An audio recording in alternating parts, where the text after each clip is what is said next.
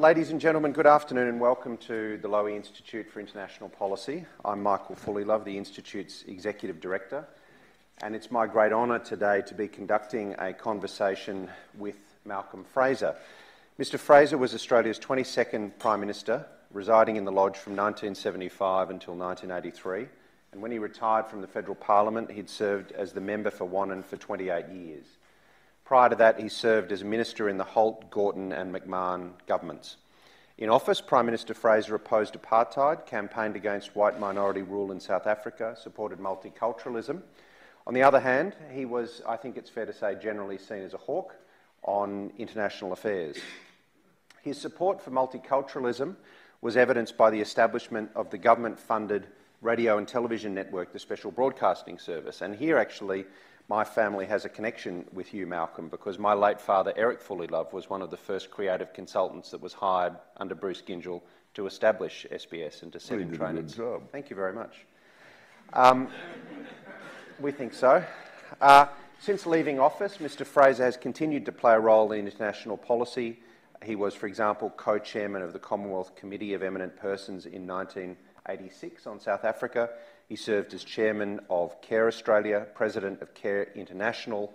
He was a board member of ICG, um, and he's held various uh, other important international posts. He is also, as many people here know, a keen exponent of Twitter. Uh, in fact, um, I asked Mr. Fraser today uh, how many followers he had on Twitter, and he said, Oh, I'm not sure, about 32,000. So I think he follows it pretty closely, which is fair enough. We all follow our follower numbers closely. I asked him how he got onto Twitter, and he said, "Oh well, uh, it was serving my interest better than Facebook." Um, so I, I, gather he was on Facebook, and uh, his family said, "Look, why don't you get out of the way off Facebook and, and get on Twitter?" Uh, and he, his Twitter feed makes for extremely interesting reading. He cu- curates a lot of uh, very interesting articles and, and um, and flicks them on to the rest of us. Ladies and gentlemen, Mr. Fraser's here today, of course, because he's published this book, Dangerous Allies, which is a provocative look um, at Australia's role in the world and, in particular, factual, not provocative. The US alliance. Well, it can be factual and provocative. Ladies and gentlemen, please join me in welcoming Malcolm Fraser.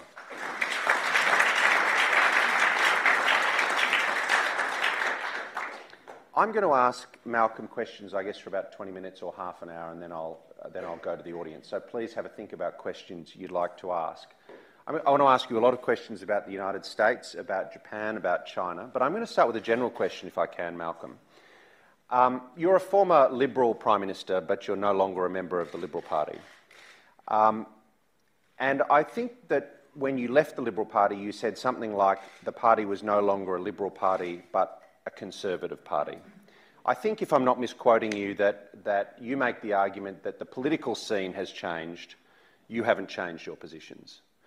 Is that, well, first of all, well, is that, is that a correct characterisation of, of your view? And if it is, is it really true that you haven't moderated at all since you were in politics? In terms of policy in relation to Australia, how Australia should operate, multicultural society and open society and all of that, I don't think my views have changed.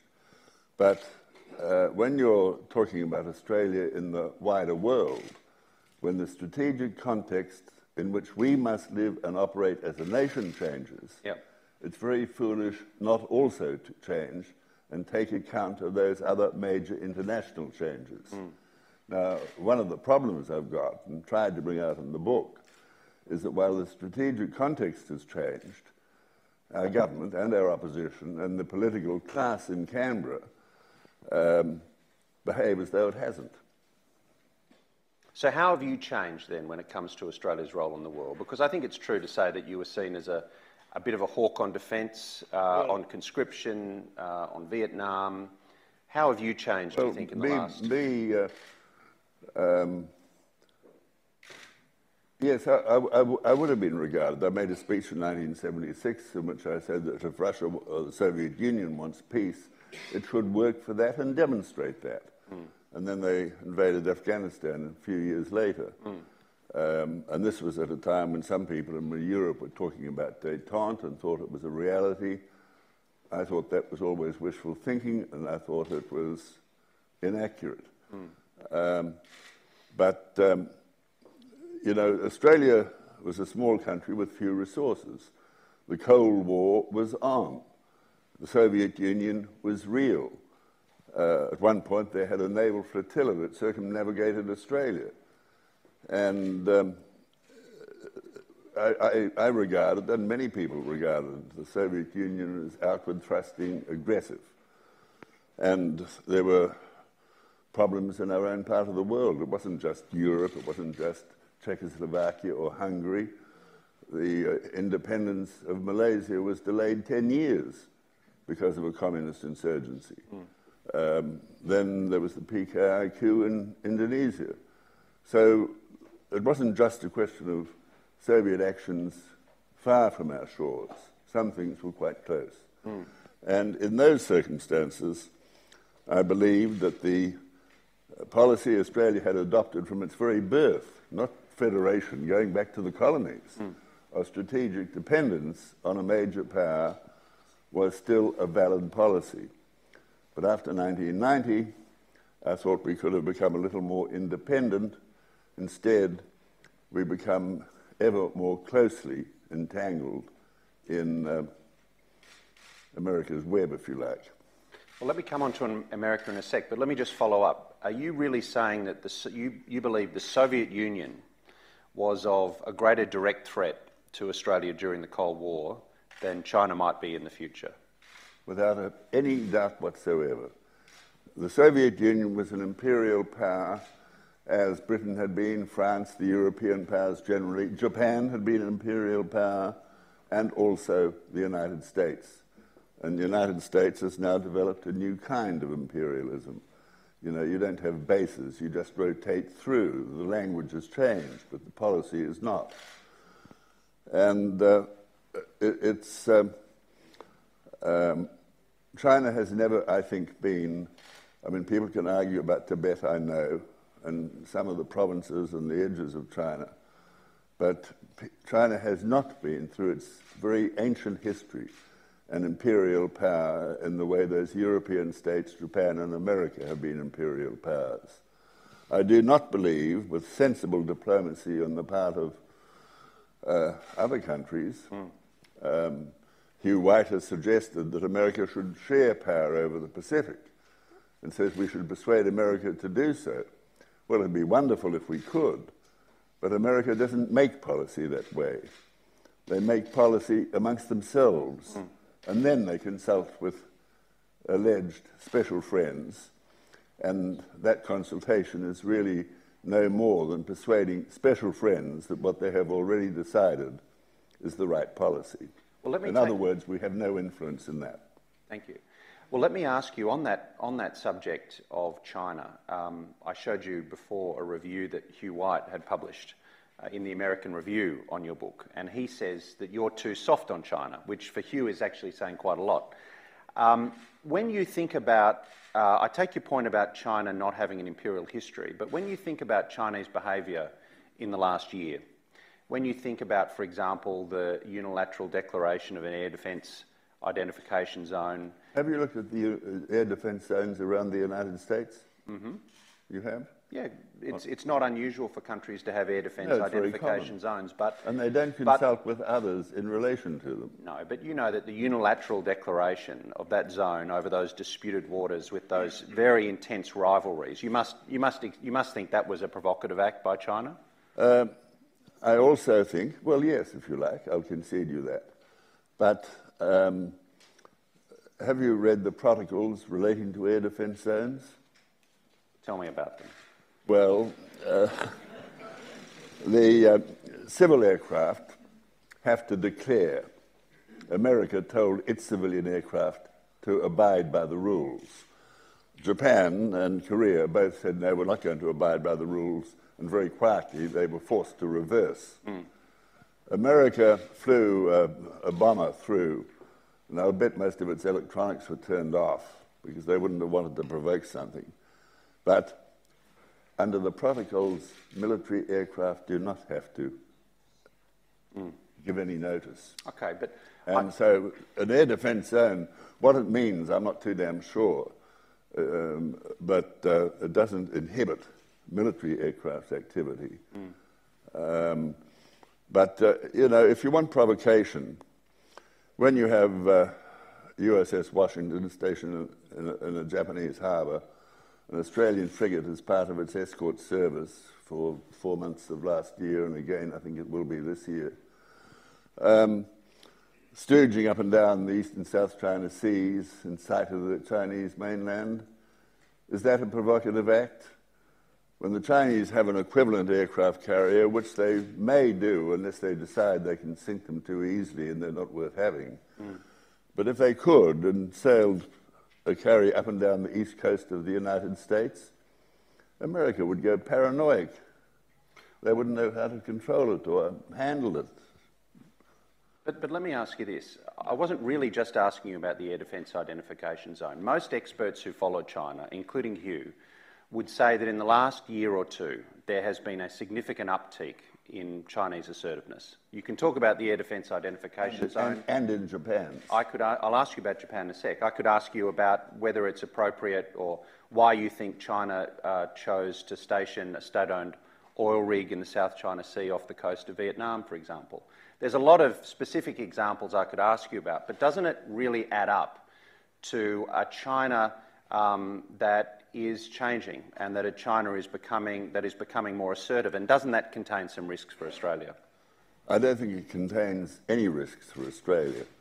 It might contain some risks for some of the countries on the periphery of China and what they think is theirs and what they think is not. But uh, one of the problems with um, Americans, a lot of Europeans, very few are like Helmut Schmidt or Henry Kissinger and look at things from the perspective of history, tradition, and culture.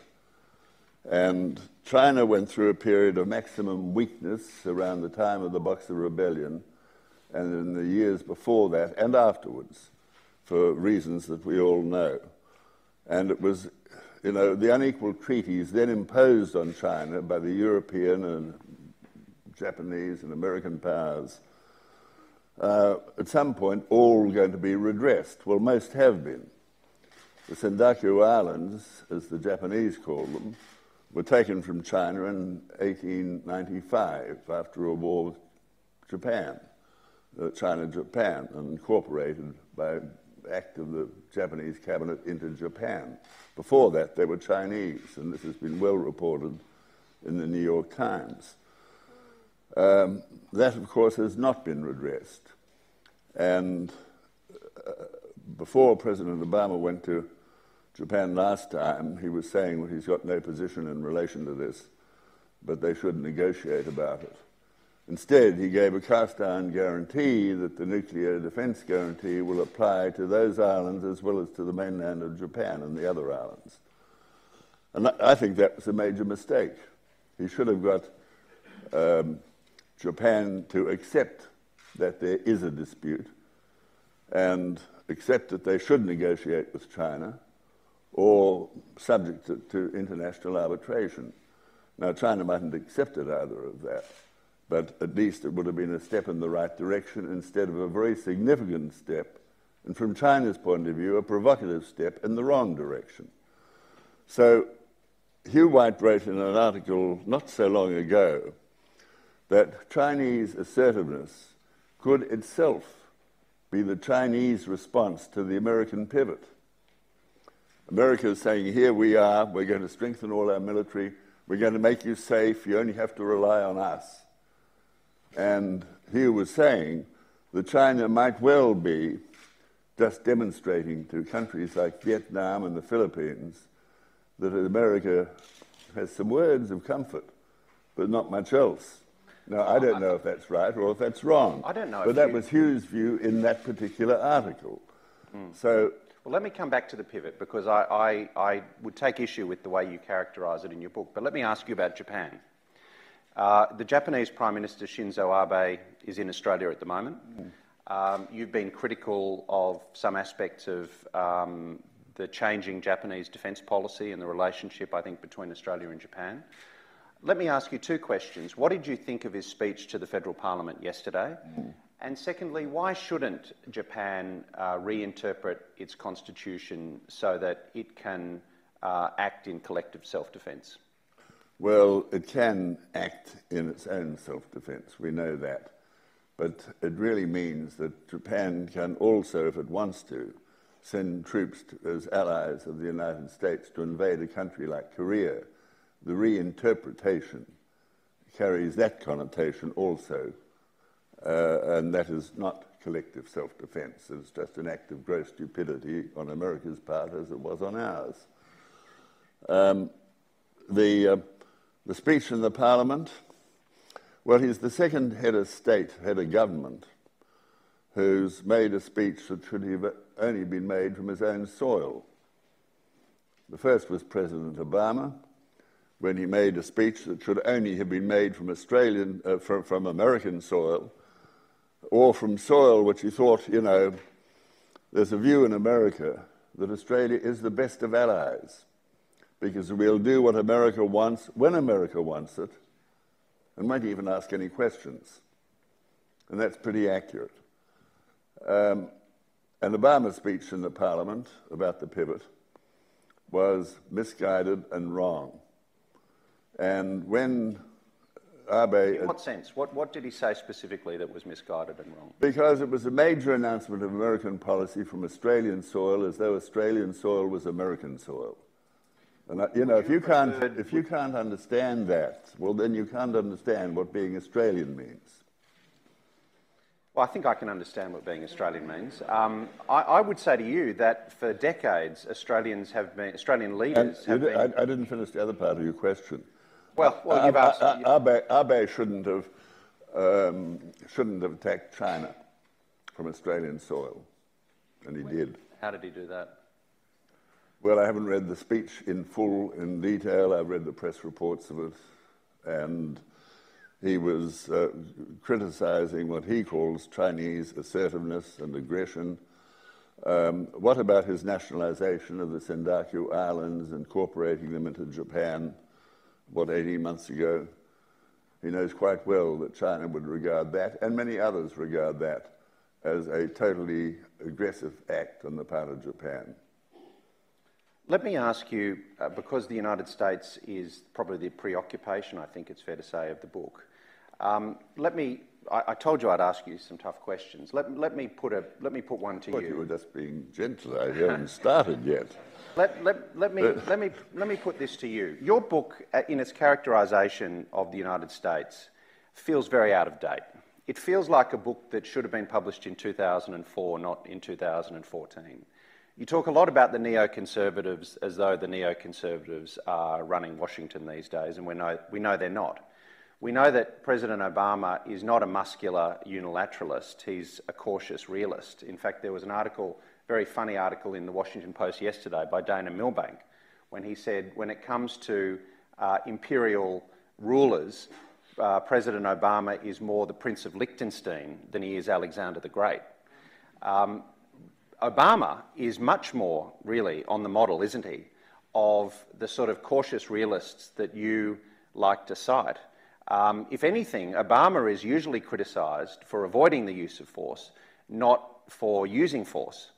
Um, so it seems to me that a lot of the, the, criticism of the United States is based on um, the United States of President George W. Bush. And I was the first to say at the time that the invasion of Iraq was wrong. But, but is it really right to, when we're trying to grapple with what the United States' role in the world is now, as opposed to 10 or 15 years ago, is it right to dwell as much as you do on that, on that period? I, I uh, think the ideas of American exceptionalism have uh, really spread and grown significantly since America has been the only superpower. When the Soviet Union existed, the two superpowers, in spite of being some quite sensitive moments, they acted as a restraint on each other. Now, since 1990-91, you had an America that has at times acted totally without restraint, and uh, some would argue totally outside the law. Um, the, uh, I don't know if you've read the legal opinion which Obama used to justify drone killing of Americans in Yemen or in other places. But um, it's a very odd legal opinion and is not quite as bad as Mr. Justice Yeo about the definition of torture, but it would not be far behind. The question of legality in America, however, is a bit more important because people question it and ask for it and they force the publication of the documents. Um, in Australia, there doesn't seem to be the same concern. We just let it go. All right, the Australians in Yemen, they were nasty people, they were in bad company. Unproven, somebody said so, it doesn't matter. They get killed, they're Australian. Um, the, uh, I, I, I think America, as the only superpower, wants to stay there, wants to. You know, Hugh White says that they have got to give space to China. Now, if he says that, um, how is he going to achieve it? If you can't achieve it, he is really saying, I think, uh, that a provocative Japan, or maybe not a provocative Japan, if you like, a provocative China, causes a conflict between China and Japan. From our point of view, it may not matter which one starts it, but America is then involved. And uh, Obama, in his recent visit, um, made that very clear. If America is involved, we have to be involved because we cannot say to the Chinese, with troops in Darwin, a powerful air ground task force, three service task force, which um, can um, demonstrate use power anywhere throughout the region. We can't say we're not complicit. We house the damn thing. Of course, we're complicit. And we are also complicit in what Pine Gap has done, which has changed from being a largely defensive um, facility, very useful, very successful in collecting information, but with changed weapons technology, has really become an extraordinarily important offensive part of the American military machine. And not just for drones, for other strategic and, and, and tactical weapons of, of, a very sophisticated kind. And therefore, Pine Gap would be integral to any American conflict in the Northwest Pacific. Uh, if that's there, all right, the law might say, Australian law, but it's a subterfuge, as you well know, that it's an Austra- Australian base, but it's not. It's got an American in charge of it. We've got somebody number two, and it serves American purposes. And so it's a American base. Um, I don't know how the numbers fall out between Americans and Australians at the base, but both are there. We are complicit in what it does. And when targeting information goes back to America, and within not quite real time, but within an hour or not much more, a bomb goes off or a drone goes off and people are killed or some other thing is damaged. You know, an Australian Prime Minister says, look, this time we're going to be like Canada. We're not going to join the Americans as we did in Vietnam. We're not going to join the Americans as we did in Iraq. We're going to stand aside. China just would not believe it.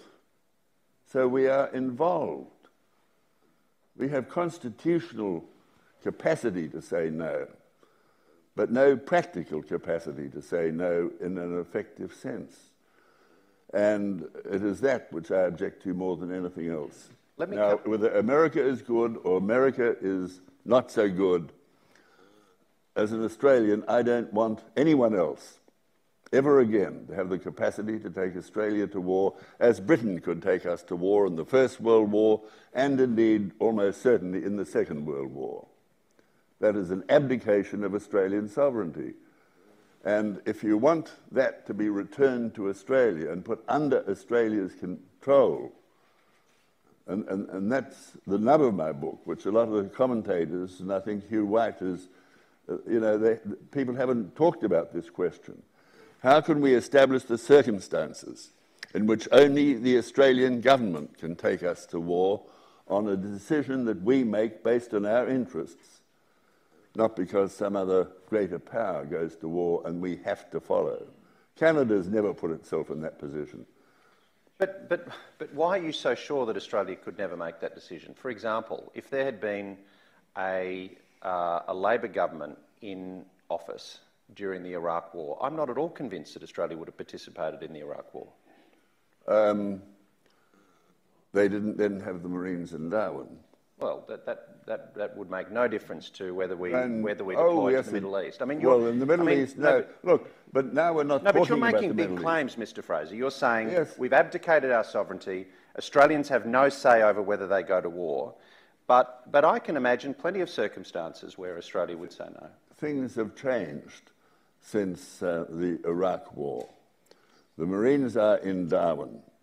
The American, unfortunately, is paying less attention to the Middle East and more to the Western Pacific. And if their diplomacy exercises the same skill in the Western Pacific as they have exercised in the Middle East, well, you might say, who's going to help us? It's not going to be America because they'll make a mess of it. And we're now talking about our part of the world. And the facilities, Pine Gap, you can't say it doesn't exist. You can't say those troops in Darwin don't exist. Apparently, the Prime Minister, when he was in Washington, gave an indication that if you want to increase the number, you can send, what, another task force? We don't know. Maybe a year or two later, they'll take over Lavarack Barracks or Townsville or whatever. But um, the, uh, in, a war on the far side of the world is one thing, but a war in our part of the world, and especially one involving China, if it's China and America, there is only one thing for Australia to do in such a contest, and that's to stay out of it. Because if you want to take it further and speculate further, the American technical superiority over the Vietnamese was massive, just as great, if not greater, than the technical superiority over China.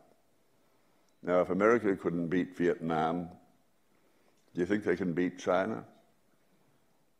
Not one hope in a thousand. And Hugh White has recognized that, that America may well not win such a war. And if uh, America loses such a war, it would take 10 or 12 years, but air sea warfare concept, which I'm sure you've studied in detail, all 600 pages of it, published in Washington. Um, the, uh, uh, after 10, 12, 14 years, the Americans would get tired of it. They'd go back to the Western Hemisphere their trade, their commerce, their investment wouldn't be really greatly affected because these things do not need protection of war. But they would lose military bases throughout countries in the Western Pacific. That would be the price of peace in those circumstances. Then Australia is left here as a defeated ally of a defeated superpower. I think that's rather an uncomfortable position to be in and will put Australia in greater danger than we've ever been in our history, except before Japan attacked Pearl Harbor and saved us. If you think, if the alliance is so dangerous to Australia, why do you think uh, every year the Lowy Institute publishes its Lowy Institute poll?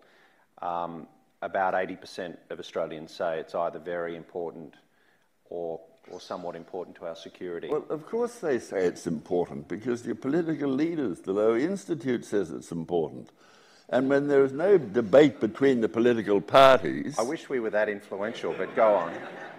When there is no debate between the political parties, um, uh, habit takes over. Again, Hugh White, you used him against me, I'm now using him in support of me. He said, you know, one of the things uh, is habit. Uh, we, we just go on. We don't recognize that the strategic context in which Australia operates has changed dramatically since the destruction of the Soviet Union, the breakup of the Soviet Union.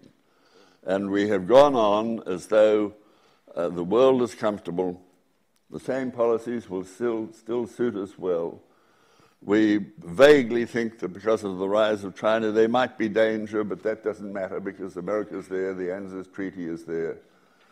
Um, Actually, let me interrupt. I think it's quite the opposite, isn't it? I mean, isn't it that um, in circumstances where Chinese behaviour is changing much more quickly than most experts would have predicted, when there is a real risk of, or at least significant uncertainty about China's future role in the world, doesn't it make perfect sense to balance against, to hedge against the chance of Chinese recklessness in the future by keeping the United States engaged in our region, by balancing, uh, by providing a counterweight to China. Doesn't that make perfect sense you, to Australia? You, What's the alternative? To, to... you, sound like a minister in the Menzies government arguing, arguing to, uh, we've got to put people into Vietnam to keep America involved. No, I'm not uh, arguing about putting people in Vietnam. I'm arguing about I'm keeping the United you, States involved no, in this you, region. You, you, sounded that because Australia is a relatively small country. I mean, for people, resources, still, we should be much larger than we are. Um, but that's another question, another subject. The, uh, uh, do we really think we can influence America? America is a major superpower and will do what is in America's interests, regardless of what Australia does. They will have their pivot, whether we allow Darwin to be, continue to be their major base, and whether we allow Pine Gap to continue to operate as it now is, as an offensive weapon in their armory. Um, even without those things, America is not going to go away because they're on top of the greasy pole and they want to stay there. But relatively, their power, not in, even in their own absolute terms, but relatively to the rest of the world, their power is declining to an extent. It'll be slow and gradual, but a declining superpower through history has always been a little more dangerous than a rising power. And you are making assumptions about China which run against Chinese history, against Chinese tradition, which you do need to take into account if you want to make a valid judgment about what will put Australia least at risk. And that's the kind of judgment that I've tried to make in the book, and people can argue and disagree as you cl- clearly do, and most people in the establishment do with the conclusions. But uh, what puts Australia least at risk? There's always a risk about the future. There's no cast iron guarantee. We thought the British Empire could save us, and the British Empire couldn't save us because they'd run out of power, and we should have recognised that long before we did. Do you think the United, United States saved us against the Japanese in the Second World War? Well, there's still the unanswered question. And I was speaking to a senior Japanese, uh, sorry, American uh, official. I'm not going to mention his name because you'd recognize it. Um, but very well respected. Without Pearl Harbor, would America have come into the war? You know, when you think of it, Britain was fighting. No, no, no. It, it is a valid question because to leave Britain totally beleaguered, fighting alone for two and a half years against Nazi Germany, knowing what Germany was doing to the Jewish population right throughout the whole of Europe, created very real questions about America's future intentions. Now, of course, Roosevelt was trying to persuade Churchill, I'm trying to get America into the war, I'm trying to do it, I'm trying to do it. But after Pearl Harbor, America declared war on Japan. America never declared war on Germany. Germany declared war on America first.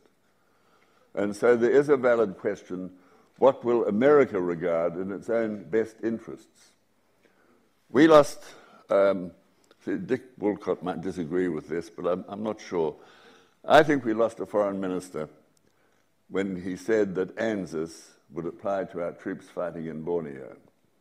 And I've read the transcript of the discussions which involved Menzies, McEwen, Harriman, a couple of other Americans, um, Barwick, and McEwen was the one who, towards the end of the discussions, pressed the hard question. At the troops in Borneo were top grade Indonesian troops, but they were posing as irregulars because it was not a war, it was confrontation. And uh, our army, I was army minister at the time, our army regarded the top 300,000 Indonesians as as good as any.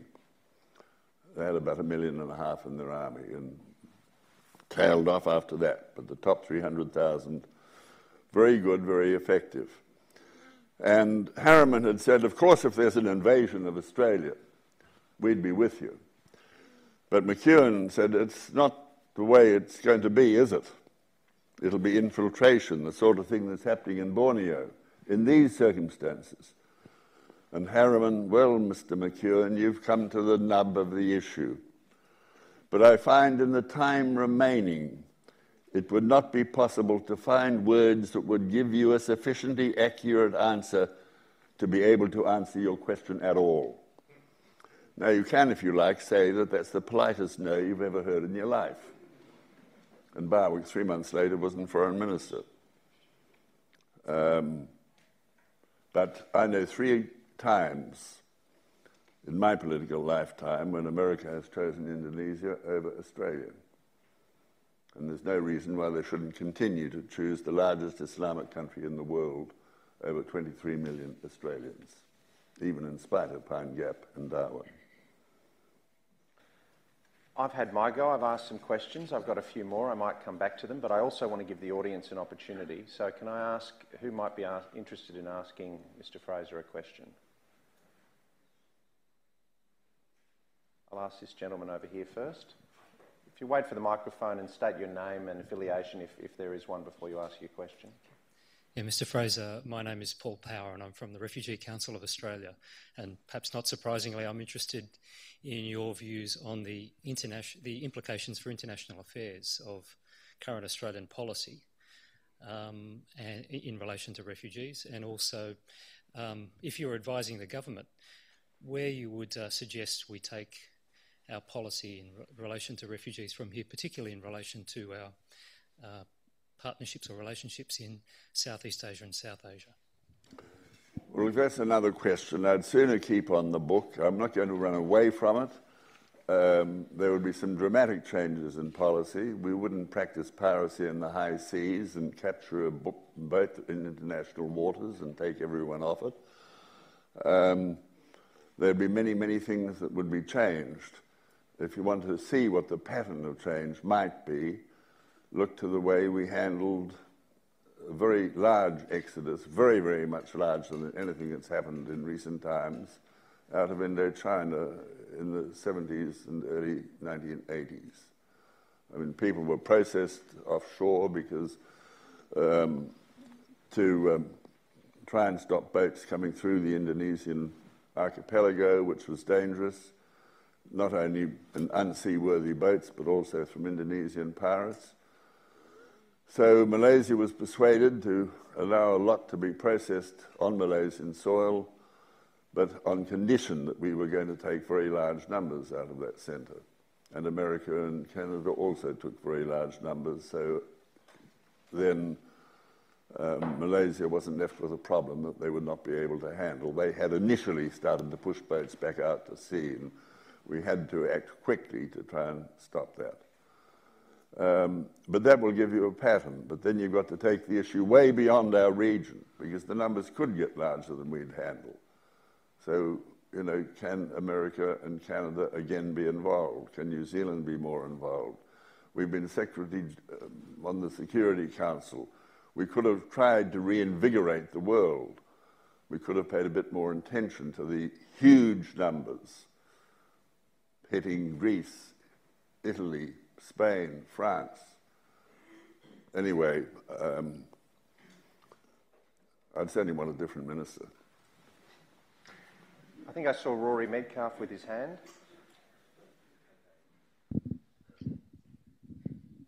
Thanks very much. Uh, Mr. Fraser, Rory Medcalf from the, um, the Lowy Institute, and um, I've um, I've, I've read your book and uh, I respect the, the fact that you've contributed um, uh, your experience to the debate in this way.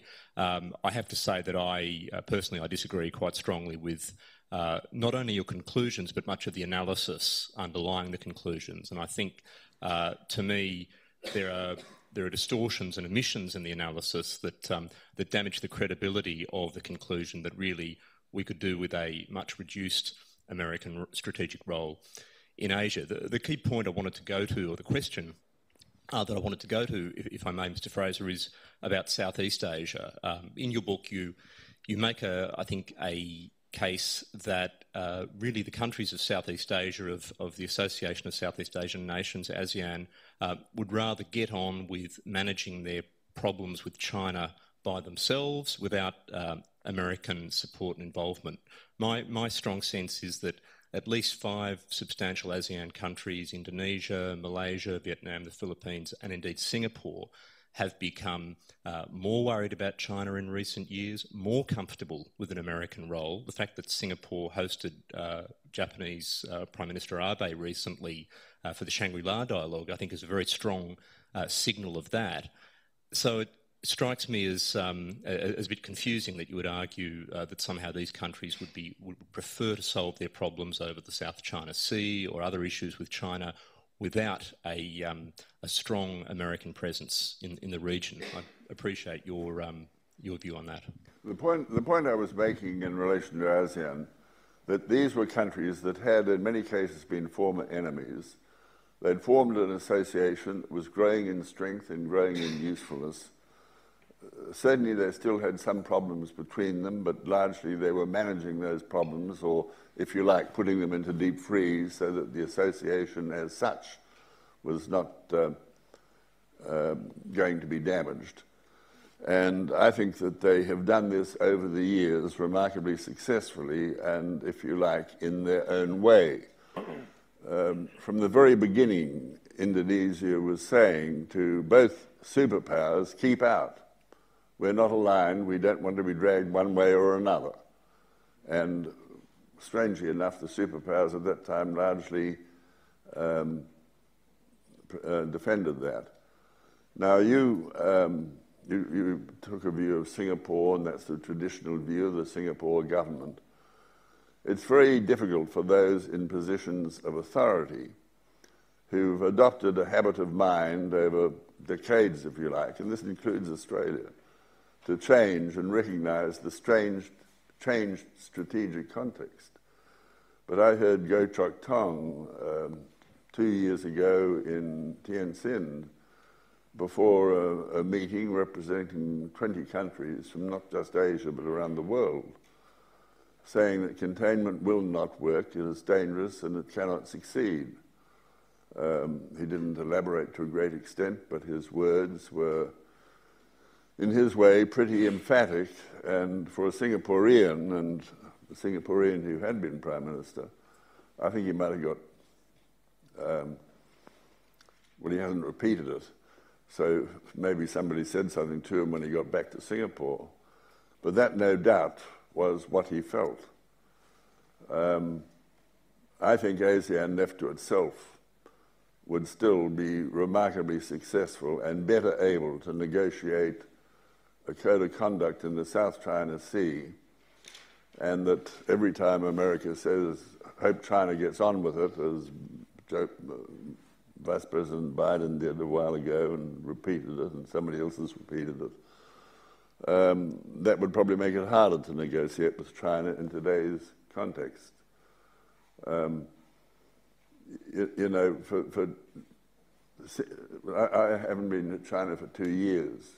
When I was there, the common question, which America do we believe? This economic and strategic dialogue led by Hillary Clinton, or the pivot and the military build-up? I mean, America is trying to have it both ways. They're saying they want cooperation, collaboration, and then in case they don't get their own way in that, they're bringing in more guns which America do we believe? And, you know, it, it's. Um, pe people are I also had Chinese saying to me, we don't want America to leave because we know China's strength makes countries in our periphery nervous. But there's a difference to maintaining the status quo and very substantially increasing a military build-up and trying to contain China in the way the Soviet Union ultimately was contained. Uh, I want to come back to this question of containment because you do use the word a lot, but let me just follow up on Rory's question. I mean, you said these are habits of mind that people are finding it hard to shake, and that's what you said in relation to Australian policymakers too. But it's not a habit of mind for Vietnam, which fought a war against the United States, which you helped to prosecute, of course, that is turning Vietnam and, and making Vietnam worried about Southeast Asia. That's not a habit of mind. Isn't this, isn't it the fact that, that at least these five countries that Rory mentioned are nervous. They are worried about changes that, that, that, they detect in China's behaviour. That's why they're moving closer to America, not because of habits of mind. Well, I'm not sure that Vietnam is really moving closer to America. When Panetta tried to get use of Cam Ranh Bay for the American Navy as some sort of rotating through or base again, the Vietnamese very politely said, well, anyone's welcome here. But they weren't going to let it turn into an American rotating through or base. And the Vietnamese have had a very long history of um, living alongside a larger and more powerful China, and they've often found it very awkward. There's nothing to suggest that that is going to change. And the Vietnamese have been very tough, very resilient, and well able to look after themselves.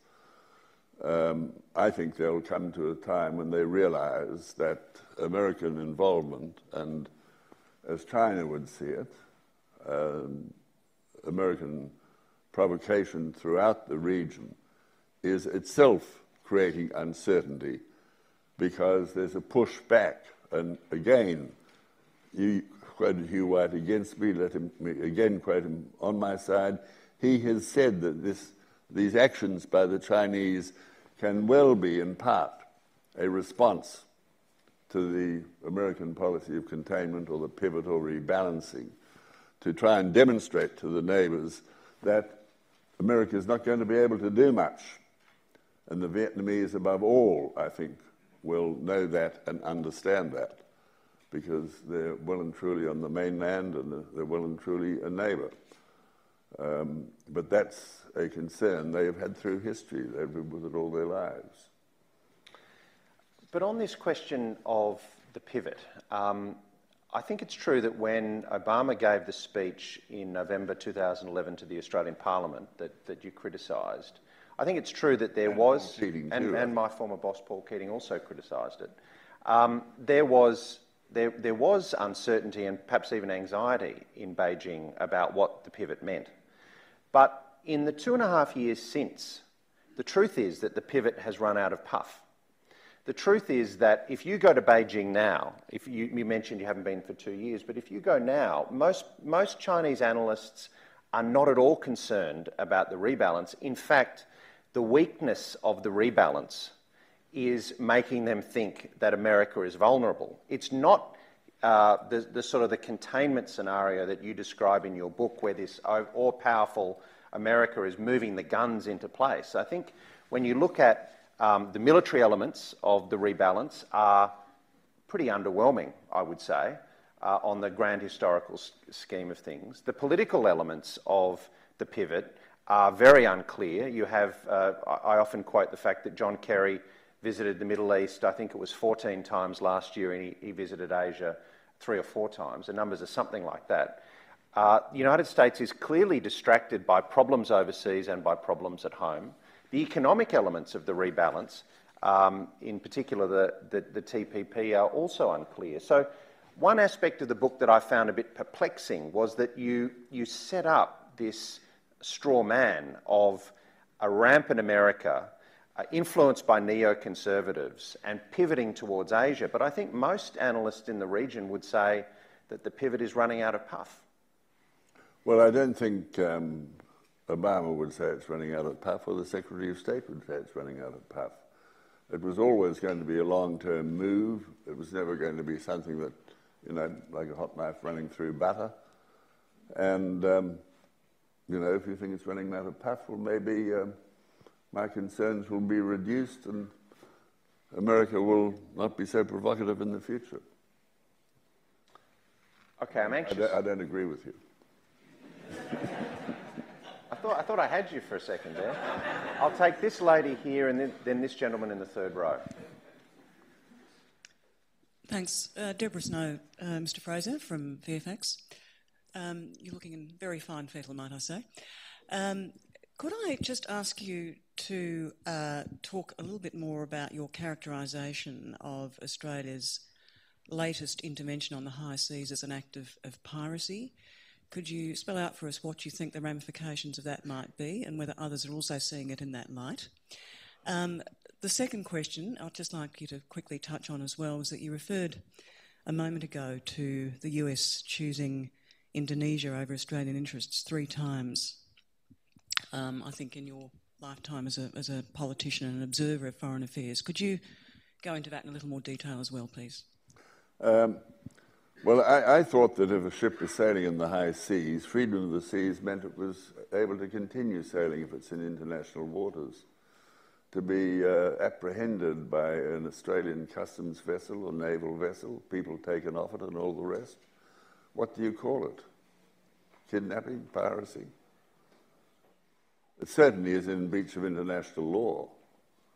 Um, and um, the, it hasn't been much reported here, but Reuters yesterday morning reported a police chief in uh, uh, Sri Lanka is saying that all the passengers who had been returned, the 41, I think, were going to be prosecuted for leaving the country illegally, and it would probably be not very difficult to prove that. And if found guilty, he said, they'd all be subject to enhanced imprisonment. What's enhanced imprisonment? Is that a new name for torture? It sounded very like it. Um, on the other thing, Australia had wanted a genuine act of self determination for West Irian, West Papua. Um, and especially ex servicemen in the parliament were adamant about that. The Australian government supported it and argued for it very strongly, and we were way, way out on the limb because the Dutch didn't want it, the Portuguese didn't want it, the British was not going to support us, and they made that very plain, and America was not going to support it. And in the end, we had to settle for an act of self determination, as did the people of, West Papua, for something that was symbolism only and meaning nothing. Well, that was, uh, I've given the example over um, troops fighting in Borneo during confrontation. And uh, the, um, there was a very, when, when John Howard acted in relation to East Timor, um, and partly because uh, Habibie short circuited the time scale from 10 years to a few months, which, if you knew Habibie, he was bound to do. I, I've met him several times over the years and continue to do so. Um, but then we had a, a, job of sort of maintaining peace. We needed a bit of heavy lift capacity. It took a lot of pushing and several days before the United States would agree to supply that heavy lift capacity, which we did not have, and certainly should have had, and we should have been spending more money on defense. Um, but we didn't have, and we couldn't have done it without their support. Um, now, what were they doing in those few days when they did not say yes? Um, they were clearing their lines, I have no doubt, with Jakarta. But that's not unreasonable, is it? I mean, they did I mean, say it's yes totally in the unreasonable. end. We're meant, you're saying we're a special friend, a special ally. They knew quite well that what John Howard was doing would fail abysmally without that heavy lift capacity. But they did provide that, didn't they? In the end, after a great deal of pushing, and very reluctantly, as you know.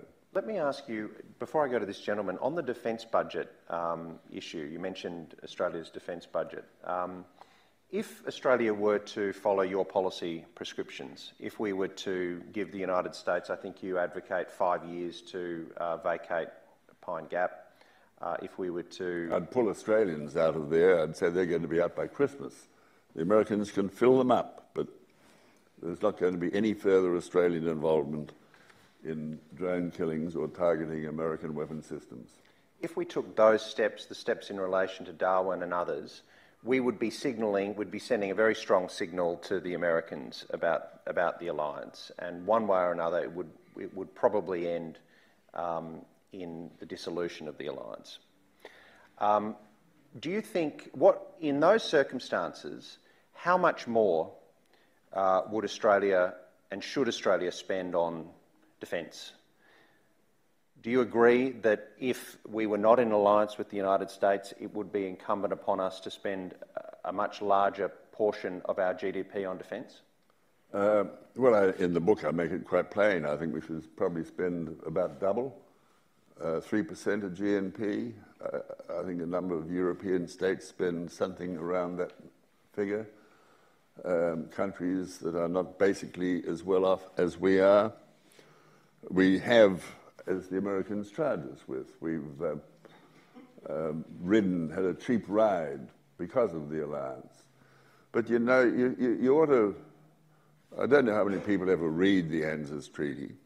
There is one firm and absolute commitment in it, and that is a commitment to consult. And then, if there's agreement, other things could follow. But it could only follow in accordance with one's constitutional processes. Now, if we're thinking there might be uh, help from America, that, as I understand it, would need a war powers resolution through Congress. Now, NATO doesn't need that because the treaty itself makes it quite plain an attack on one is an attack on all. It's a different kind of treaty. But ANZUS treaty is uh, the commitment is a commitment to consult, and material support may follow. You cannot say more than that. It's also worth noting that every war in which we've supported America has not been covered by ANZUS, has not been part of ANZUS, has been outside the geographic limits of ANZUS. And uh, it's restricted to the forces or territories of, it was the three powers, it's now both powers in the Pacific theatre, and that's the limit of the geographic bounds of ANZUS. It does not apply beyond that. So whatever we've done in Vietnam, Iraq, Afghanistan, it's got nothing to do with ANZUS. Um, and so ANZUS is a very limited treaty, a very limited cover. Certainly a network has grown up under it, but that is a network that I question whether it serves Australia's interest. I don't question whether it serves America's interests. It most certainly does. That's very obvious. But would it, at the end of the day, serve Australia's interests? And may, you know, you can say it may. But the future is balancing risk. What is the least risky course for Australia? And I believe there is a greater risk in staying with current arrangements than in having a much greater degree of strategic independence. And if America wanted to say, well, that ends the alliance as a whole, you know, it would depend on how, well, I don't know, vengeful, how annoyed, how piqued the uh, Americans were. But, you know, if, if they were prepared to accept that we cannot have any facilities on Australian soil that imply we are complicit in their warlike actions if we don't want to join that war. If they were prepared to accept that as a basic principle of the alliance, and then we adjust things, which would obviously mean adjusting Darwin Pine Gap and maybe the new purposes for which Northwest Cape is used, um, the, um, then uh, an alliance could continue. But I suspect that they would not do that, that they would want us out in the cold. Um, but I, you know, I don't believe they're going to tell their corporation to disinvest from Australia. We might have some economic price to pay. Um, are they going to say we, they won't sell us military equipment? well, their companies will want to sell the military equipment. And if not, there's good military equipment made in other places, and even in Japan. So presumably we could buy Japanese equipment now under the new arrangements that Japan's adopted. We, we have, we're almost out of time. I did promise I'd go to this gentleman, but I'm going to ask you to ask your question very quickly, if you don't mind. The gentleman on the third row. No, I'm sorry. This is the last question we have time for. Thank you. My name is Mike Lyons. Not very loudly. Um, Mike Lyons, uh, Mr. Fraser, congratulations on your book. Thank you. I very much agree with. I'm not speaking on behalf of an institution. It's worth I, I, I very much enjoyed reading what you had to say. Um, you talked about during the Cold War the countervailing forces of the two superpowers. Yeah. And the, in a way, contribution to peace because of the threat that they pose to one another. And my sense is that um, well, this thing doesn't work. You could use that microphone, sir. I'm going to have to ask you to ask a very quick question, I'm sorry, because we're almost out of time, as I said. Just come to your question, if you would. Well, the question that I really want to get to is this. Um, as China emerges as a sup- potential superpower, can you envisage the time in the relatively short term where China's emergence as a superpower will contribute rather than detracting from peace and stability because of its countervailing force as a superpower, which currently we only have one. Thank you With very China, much. we might have two. Thank you. I, I, I think that's problematic because unless there can be a change in America, I would see. Um, look, the most likely spark for a conflict is Japan, in my view. I don't think China wants war. They've got too much to do in their own land, building up the standard of life of still too many people who live very close to the poverty line. Um, and you know, one, one thing China has been totally consistent on, um, in my memory anyway, the opposition to hegemony, whether it was Soviet hegemony, American hegemony, or anyone else's hegemony, as they call it. And there's no reason to believe that that is not an article of faith. It demonstrates why they don't like military interventions in other countries and often vote against them in the United Nations and whatever, or in the Security Council. But um, look, it, I'm not sure that I can see far enough ahead really to give uh, an answer. But if America were prepared to accept that, or to treat China with respect, to treat China as an equal, if Japan were prepared to apologize for the rape of Nanking and maybe give some rational reason why Japanese schoolchildren aren't taught of Japanese uh, atrocities during uh, across China, when every Chinese school child is taught of those atrocities. Um, the, you know, a lot of things could change. An apology, a, a proper apology for the rape of Nanking one of my Japanese friends took me up on this and they sent me about 20 pages of gobbledygook, and not one word of it could be said to be regarded as an honest, decent apology for one of the most terrible atrocities that's occurred anywhere.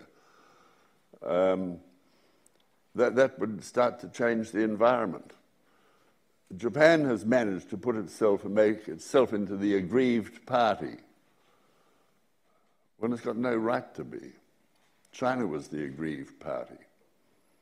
And we have, or America has sided unequivocally with the then aggressor against the then aggrieved party. I, I don't think our current world leadership, and pretty well any country that I can think of, pays anything like enough attention to history, to culture, to tradition, to things which are deep in the heart of you know, Kissinger would, and he wrote recently about the Ukraine, he wrote about earlier about the movement of NATO eastward. Um, and he always understood the importance of history and culture and um, of a country's past. And um, for China, if you ask people about the early days in China, they don't go back to Chairman Mao. They say, you know, how far back do you want to go? How many thousand years? Communism is just a blot on, on whatever. of China's continuum. And if we really understood how to treat China with respect, or if America did, that would make a huge difference. Ladies and gentlemen, I want to thank Malcolm Fraser uh, for a, a, number of things today. First of all, um, for coming to the Lowy Institute. The Lowy Institute is happy to ventilate these kinds of issues and to be the forum for this kind of debate. Uh, I'd like to thank him for contributing to these important debates, not only on Twitter, but um, by taking the time and the effort to, to, uh, to author a book of this substance and something that is deserving of a lot of attention. Uh, I think you can tell, Malcolm, um, the interest in your work from the, the packed room and the TV cameras and the, and the questions from the journalists. And finally, I want to thank you um, uh, for characterising me as being something like a, a minister in the Menzies government. this will, this will further. This will. I, I, was trying to say something flattering. No, no. This, this will further confuse my critics, who usually characterise me as a, a dewy-eyed Keatingite uh, or, or a, uh, a, stooge of the CIA. So thank you. foreign policy was great. Thank you very much. Something we can agree on. Ladies and gentlemen, thank you very much.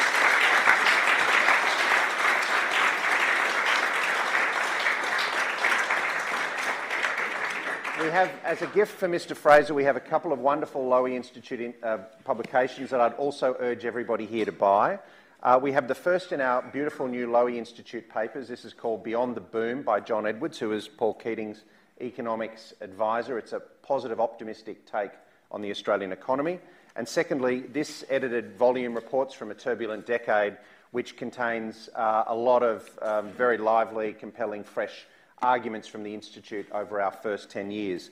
Ladies and gentlemen, before you go, can I invite you to consider attending an event on the 29th of July at which Anthony Bubalo, my colleague, will be convening a discussion of foreign correspondents, including Zoe Daniel from the ABC and Stan Grant from Sky. Ladies and gentlemen, thank you again for coming and thank you, Malcolm Fraser. Thanks very much. Thank you. There you go. Thank you.